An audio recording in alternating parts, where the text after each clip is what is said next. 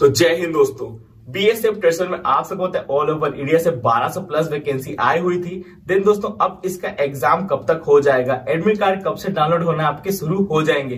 Then दोस्तों, अगर इसके फॉर्म को अप्लाई करने टाइम पता है, कुछ पोस्टों के लिए से हो गया कुक हो गया वाटर कैरियर हो गया देन तो वाटर हो गया।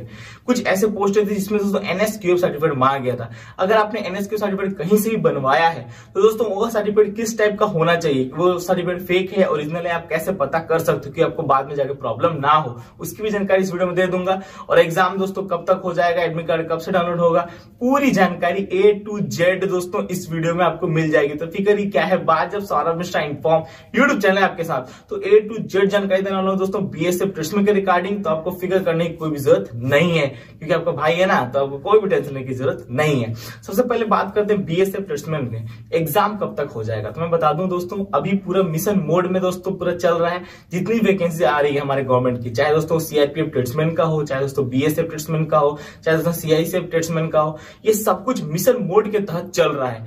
दोस्तों इसका एग्ज़ाम कब तक हो जाएगा? बहुत बच्चे परेशान है। तो मैं बता दूँ, आपका एग्ज़ाम का दोस्तों, जो आपका एग्ज़ाम का एजेंसी कराएगी एग्ज़ाम कंडक्ट उसको दोस्तों खोजा मतलब टेंडर गिर चुका है और एजेंसी को दोस्तों खोजा जा रहा है। बहुत जल्द आपका एग्ज़ाम होने वाला है। तो मैं बता दू एग्ज़ाम कब तक होगा? तो सिंपल सी बात है, आपके मई महीने में दोस्तों आपके एग्ज़ाम होने वाले हैं।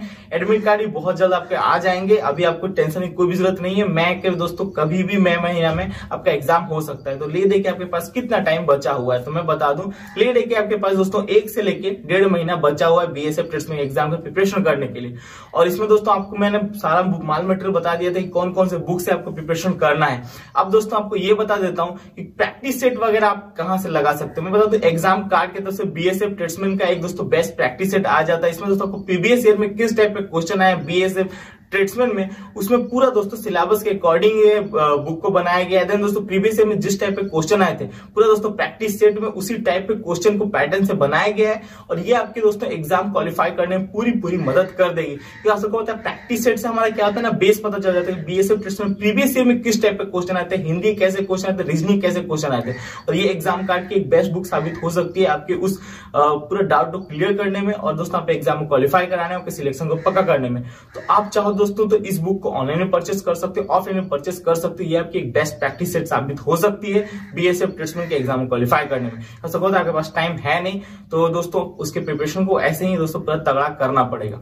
अब बात करते हैं दोस्तों, जब हमारा एग्ज़ाम मई महीने में हो जाएगा तो उसके बाद भैया, अगर हमें फॉर्म अप्लाई करने टाइम एनएसक्यू सर्टिफिकेट लगाया हुआ है तो एनएसक्यू सर्टिफिकेट ओरिजिनल है या फेक है, हम कैसे इसको जान सकते हैं? तो मैं बता दूँ एनएसक्यू सर्टिफिकेट जब भी आपने बनाया होगा तो उसके ऊपर देखिएगा स्किल ऑफ़ इंडिया का दोस्तों लोगो होगा। ये दोस्तों एनएसक्यू सर्टिफिकेट कुछ इस टाइप का होगा जो मैं आपको स्क्रीन पर दिखा रहा हूँ।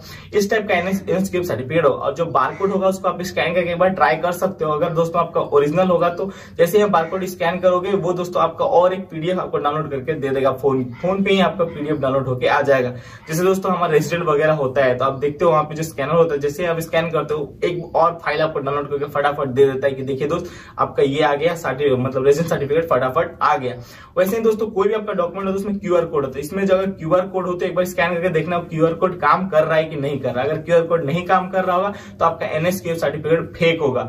और मैं बता दूँ, अब की बार जो भी दोस्तों बीएसएफ ट्रेड्समैन में एनएचक्यू सर्टिफिकेट जो लग रहा है, पहले क्या था, जो एक्सपीरियंस सर्टिफिकेट था, उसका वेरिफिकेशन नहीं होता था। बट इस बार मैं बता दूँ एनएचक्यू सर्टिफिकेट का पूरा पूरी वेरिफिकेशन होने वाला है, क्योंकि दोस्तों आप वहाँ पर देख सकते हो साफ़ साफ़ लिखा हुआ है कि बीएसएफ ट्रेड्समैन में दोस्तों कुक वाटर के वाटर के जिसके लिए एनएचक्यू सर्टिफिकेट मांग गया है, उसका ट्रेड टेस्ट नहीं होने वाला है। तो मैं बता दूँ, पूरा दोस्तों आपका स्किल ऑफ़ इंडिया से जाकर वेरिफिकेशन होगा, मैं बता दे रहा हूँ एनएसके सर्टिफिकेट का। वो एक्सपीरियंस सर्टिफिकेट का तो कोई टेंशन नहीं था, उस टाइम आपको उतना टेंशन की ज़रूरत नहीं था। लेकिन जो भी एनएसके सर्टिफिकेट अगर फेक पकड़ाया तो आपके ऊपर दोस्तों बहुत बड़ा एक्शन हो सकता है एग्ज़ाम क्वालिफाई करने के बाद भी आपको रिजेक्ट किया जा सकता है। इसीलिए देख लेना दोस्तों, जो भी आपने स्किल इंडिया का एनएसके सर्टिफिकेट बनाया है, वो ओरिजिनल होना चाहिए, पूरा इस टाइप का होगा तो चल जाएगा। लोगो वगैरह आप देख लो, किस टाइप का नाम वगैरह है, पूरा दोस्तों इस डिज़ाइन में होना चाहिए।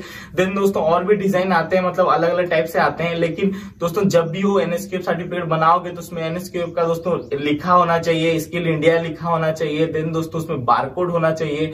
आप देख सकते हो पैटर्न ऐसा ही होता है। तो एक बार दोस्तों आप देख लेना, क्योंकि अगर आपने फेक सर्टिफिकेट बनाया है और दोस्तों पकड़ाए गए वहाँ पे तो बहुत बड़ी, बहुत बड़ा कांड हो जाएगा मैं बता रहा हूँ। और बीएसएफ ट्रेड्समैन में अब की बार दोस्तों पूरा सिलेक्शन बोर्ड में है गवर्नमेंट तो आपका वेरिफिकेशन भी वैसे ही होने वाला है, क्योंकि ट्रेड टेस्ट नहीं होंगे। एक्सपीरियंस सर्टिफिकेट क्या था, उतना कोई टेंशन नहीं था, लेकिन अभी दोस्तों टेंशन है। तो अगर आपने फेक सर्टिफिकेट बनवाया होगा तो आप भाई पूरा संभल जाओ। क्योंकि आप सबको पता है बीएसएफ ट्रेड्स में सबसे पहले आने वाले विंटर एग्ज़ाम उसके बाद जाके आपके होंगे फ़िज़िकल एंड उसके बाद होने वाले हैं आपके दोस्तों ट्रेड टेस्ट उसके बाद जाके आपके होंगे डॉक्यूमेंट वेरिफिकेशन देन दोस्तों आपके होने वाले मेडिकल और दोस्तों, जो बच्चा भाई मैं बताऊँ एग्ज़ाम क्लियर कर देता है, सब कुछ क्लियर कर देता है डॉक्यूमेंट वेरिफिकेशन में दोस्तों भी क्लियर हो जाता है कि बाद में जब डॉक्यूमेंट ओरिजिनल वेरिफिकेशन होता है डिपार्टमेंट की तरफ़ से, उस टाइम जब उसको रिजेक्ट कर दिया जाता है मेडिकल वगैरह तो बहुत ज़्यादा दुख होता है, क्योंकि खुद भी मेडिकल से कटा हुआ हूँ तो मेरे को पता है कि भाई क्या दुख होता है, इतना मेहनत करके जाने के बाद वहाँ पे। तो इसीलिए मैं बता रहा हूँ, जो लोगों ने भी भाई बनाया होगा, एक बार चेक कर लेना फॉर्म अप्लाई करने से पहले अप्लाई तो अब आपने कर ही दिया होगा तो क्या बोलना। लेकिन आप देख लेना एक बार, ठीक है? और बी एस एफ़ आप सबको पता है एग्ज़ाम का दोस्तों क्या रहने वाला है? आपकी बार तो माइनस मार्क भी ऐड कर दिया गया है। लेकिन आपको टेंशन की कोई भी ज़रूरत नहीं है। आपके मैथ होने वाले 25 नंबर के रीजनिंग होने वाले 25 नंबर के जीके होने वाला है 25 नंबर का। देन दोस्तों, हिंदी या इंग्लिश आप दोनों ले सकते हो 25 नंबर के। टोटल दोस्तों 100 नंबर का आपका एग्ज़ाम होने वाला है बीएसएफ ट्रेड्समैन में। तो दोस्तों, आप अपने आप को रेडी हो जाओ। देन दोस्तों, अगर आप इस चैनल पे नहीं हो तो चैनल को सब्सक्राइब ज़रूर कर देना। वीडियो को लाइक कर देना। मिलते हैं आपको दूसरी वीडियो में ऐसे इन्फॉर्मेटिव वीडियो के साथ। बोलो भारत माता की जय, वंदे मातरम। और दोस्तों, कोई भी डाउट हो बीएसएफ ट्रिस्मे के रिगार्डिंग तो आप मुझे कॉमेंट कर सकते हो। कॉमेंट सेक्शन आपके लिए खुला हुआ है। आप चाहो तो इंस्टाग्राम फॉलो भी कर सकते हो। आप लोग के देश भाई साढ़े तीन हज़ार फॉलोअर्स हो गए इंस्टाग्राम पे। उसको फटाफट दस हज़ार कर दो, ठीक है? और आप लोग ऐसे ही फॉलो करते हो। हमारे यूट्यूब की फैमिली बहुत बड़ी हो चुकी है। देन दोस्तों एटी वन थाउज़ेंड की फैमिली हो चुकी है। और बहुत गर्व की बात है भाई, ठीक है? तो ऐसे सपोर्ट करते रहो अपने भाई को। मिलते हैं आपको दूसरी वीडियो में। ऐसे वीडियो के साथ। जय हिंद, जय भारत। लव यू सारे भाइयों।